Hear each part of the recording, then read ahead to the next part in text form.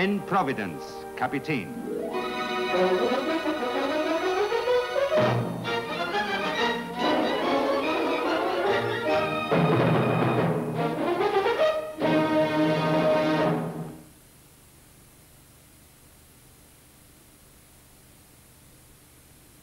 Das war's für heute, liebe Zuschauer. Ich hoffe, es hat Ihnen bei uns gefallen.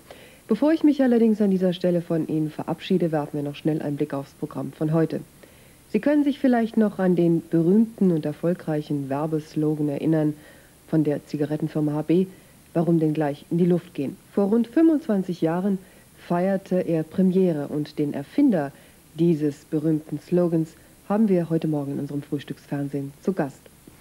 Weiter geht's dann um 11.05 Uhr mit einem Spielfilm und zwar mit dem österreichischen Filmlustspiel Das haben die kleinen Mädchen gerne. Naja, und ich bin jetzt mal gespannt, wovon die kleinen Mädchen träumen.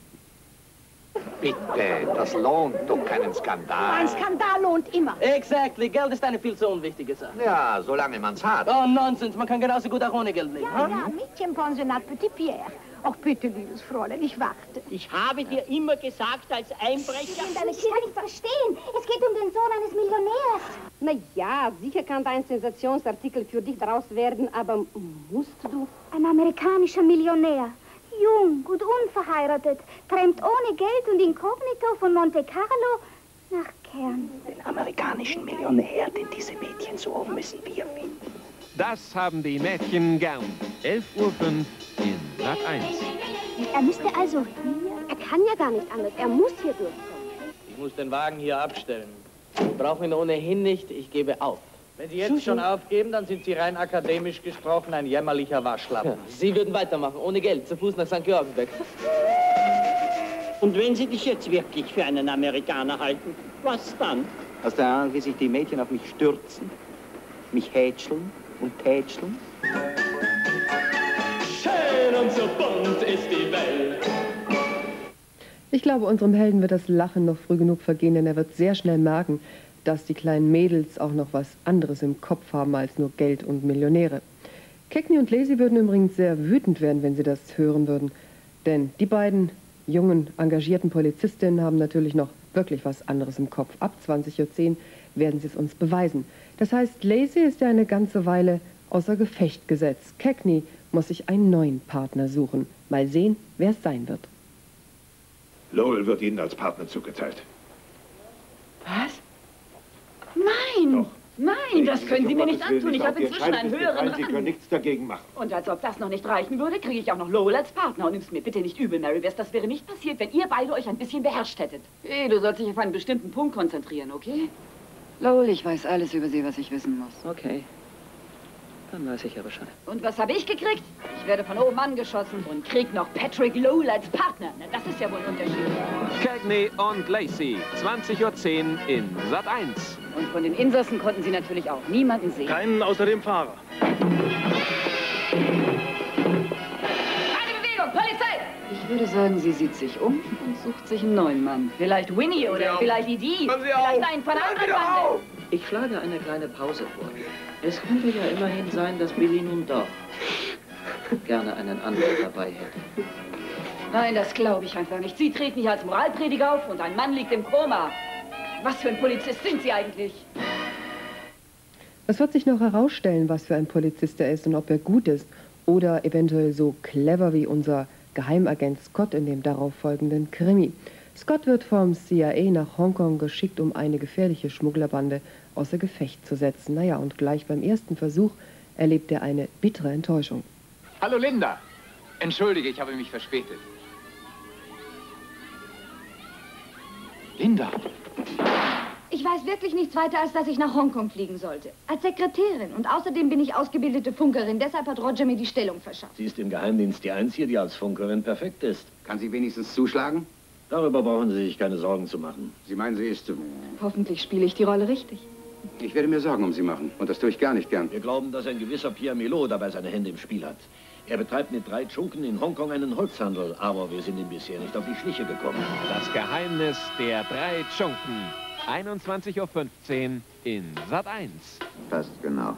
Der Saft angekommen, Überprüfung wurde durchgeführt, alles in Ordnung. Uhrzeit 15.15 Uhr. Das ist der Mann, von dem ich Ihnen erzählt habe. Er spricht perfekt Chinesisch und kennt Hongkong besser als ich. Genau der richtige Mann für Sie. Ich würde Ihnen auch gerne beim Entschlüsseln behilflich sein. Na, alles zu seiner Zeit. Und? Wer hat dich beauftragt, mich zu ermorden, du elender Hund? Wer hat dich hinter mir hergeschickt? Eine interessante Frage, aber auf die Antwort müssen wir doch noch eine kleine Weile warten. Stuart Granger, Harald Junke und Horst Frank spielen die Hauptrollen in dieser turbulenten, gefährlichen und spannenden Geschichte. Ja, und spannend geht es dann auch gleich weiter in unserem französischen Spielfilm Armee im Schatten.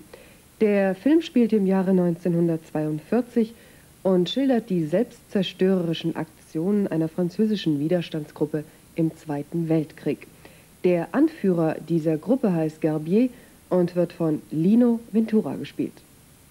Ich muss ihn matt setzen. Klein kriegen. Ich werde Sie in der Baracke unterbringen, die für die deutschen Offiziere bestimmt war. Ich werde diese Ehre zu schätzen wissen. Der Kommandant ist gar nicht mal so ungeschickt. Er steckt mich mit drei Dummköpfen und zwei verirrten Kindern zusammen. Lässt mich im eigenen Saft schmoren. Setzt mich außer Gefecht. Javier, würden Sie bitte kommen. Das müssen wir ausnutzen. Laufen Sie, was Sie können, durch diese Tür. Halt, stehen bleiben! Was wollen Sie hier? Einmal rasieren, bitte. Armee im Schatten. 23.20 Uhr in Sat 1. Ist das der Verräter, den wir... Ja, das ist er. Also Sie sind der Chef. Keine Geschichte, er muss sterben. Einzig und allein darum sind wir hier. Alles kommt auf den Mann an, der die Durchführung dieser Aktion übernimmt. Ich wüsste da einen. Heute ist er in Paris. Er bringt Mathilde ein neues Funkgerät. Sagen Sie Felix, dass die Funkgeräte umgerüstet werden müssen. Man hat die Frequenzen gewechselt. Wir haben noch einen zusätzlichen Passagier. Ich wusste es vorher nicht, den großen Chef. Das Boot zum Übersetzen liegt um Mitternacht bereit. Und morgen Abend können Sie uns auf diese abenteuerliche und lebensgefährliche Reise begleiten. Soweit meine Fernsehtipps für heute. Und jetzt möchten wir Ihnen noch ganz gerne an dieser Stelle eine neue Fantasy-Serie vorstellen, die Sie ab kommenden Sonntag hier bei uns in Sat 1 sehen werden. Sie trägt den Titel Die Schöne und das Biest und ist wirklich die ungewöhnlichste Liebesgeschichte, die Sie je gesehen haben.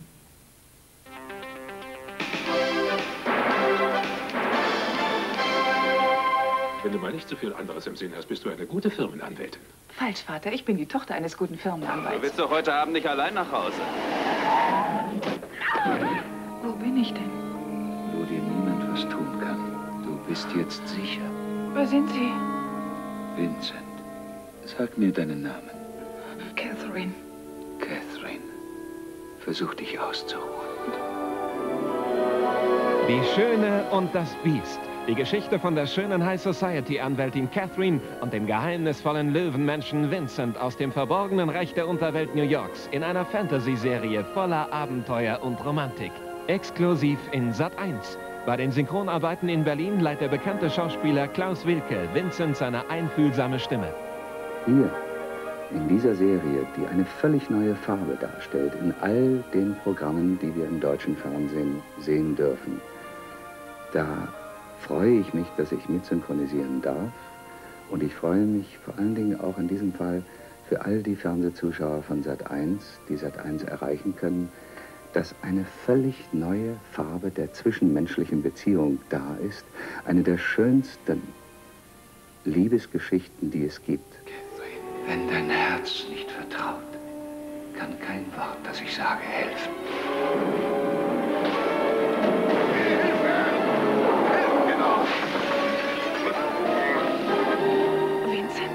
Ich fühle die Dinge genauso, wie du sie fühlst.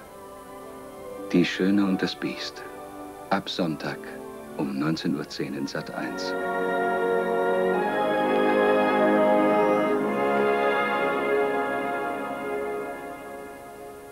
Ja, und ich hoffe, Sie sind bei der ersten Folge dieser ungewöhnlichen Liebesgeschichte dabei.